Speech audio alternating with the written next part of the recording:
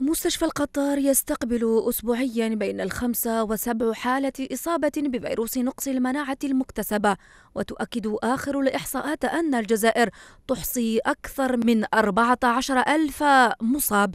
أرقام تبقى بعيدة نوعا ما من الواقع. المشكل ماهوش في الحالات اللي عارفينها. المشكل راهو في الحالات اللي ما على بالناش. ولا الناس اللي ما علمهمش بلي راهم مصابين بهذا الفيروس لتم يكمن الخطر. لهذا لازم نوعوا لازم نادوا الناس باش يتوجهوا للكشف خاطر الكشف في الجزائر الحمد لله راهو مجاني. آه، طوعي واحد ما راح يوبليجيه باش يروح يديرو. وزيد سري يعني.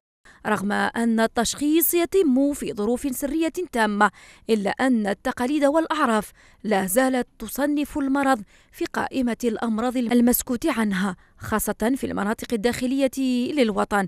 والمصاب بالفيروس يعاني الأمرين المرض وعزل المجتمع له. تعود مشكلة أكبر هنايا يعني إذا كان الحديث عن المرض بحد ذاته طابو فما بالك الحديث أنه الشخص مريض. يعني المجتمع تاعنا مازال ما يتقبلش الأشخاص آه، المرضى اللي حاملين ولو حاملين الفيروس آه، السيدا. مازال ما همش يتقبلوهم. حيكون عنده كومبلكس حيكون عنده يعني عقدة بالك ما هو ما يتقبلش نفسه باش ن... حتى هو يحشم يقول يخاف يقول آه، يدخل في, في مج...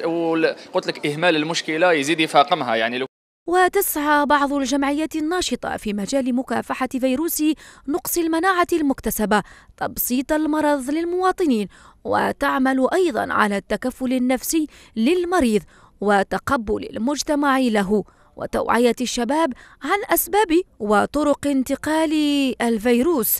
كل هذا بالحملات التحسيسية والجوارية التي تقوم بها.